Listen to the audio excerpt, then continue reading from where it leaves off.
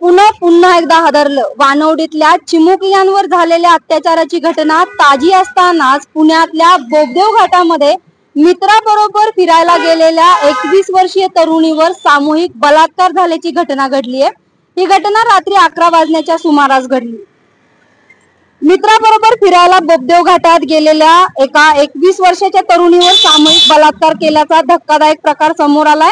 या प्रकरणी कोंढवा पोलीस ठाण्यात बलात्काराचा गुन्हा दाखल करण्यात आलाय.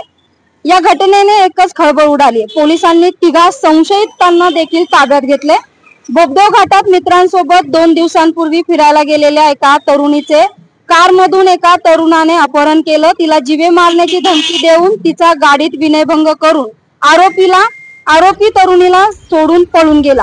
ही घटना ताजी असतानाच आता पुन्हा बलात्काराची धक्कादायक घटना समोर आली. संबंधित पीडित तरुणी ही मूळची सुरत येथील राहणारी असून तिचा मित्र जळगाव येथील राहणार आहे. दोघे पुण्यातील एका महाविद्यालयात शिक्षण घेत आहेत. गुरुवारी रात्री हे दोघं दुचाकीवरून बोबदेव घाटात रात्री उशिरा फिरायला गेले होते. त्यावेळी रात्री अकरा वाजण्याच्या सुमारास तिघे जण तेथे आले. त्यांनी तरुणीवर सामूहिक बलात्कार केला. या घटनेमुळे घाबरलेल्या पीडित मुलीस तिच्या मित्राने एका खासगी रुग्णालयात दाखल केलं.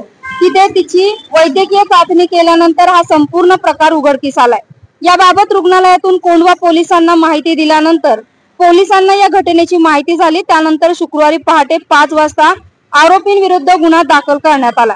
याबाबत सहपोलीस आयुक्त रंजन कुमार शर्मा यांनी सांगितलं जेथे ही घटना घडली तो भाग एकाकी आणि काळोखात आहे. पहाटे पाच वाजता पोलिसांना याची माहिती झाली. आरोपींचा शोध घेण्यासाठी गुन्हे शाखेची दहा पथकं तपासासाठी रवाना करण्यात आली. कोंढवा पोलिसांचे तपास पथकही शोध घेत असल्याचं सहपोलीस आयुक्त रंजन कुमार शर्मा यांनी सांगितलं.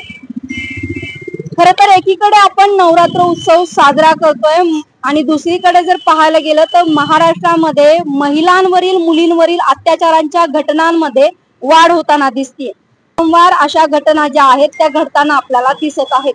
सोनाली भालेसेन पोलीस नामान्वित पुणे.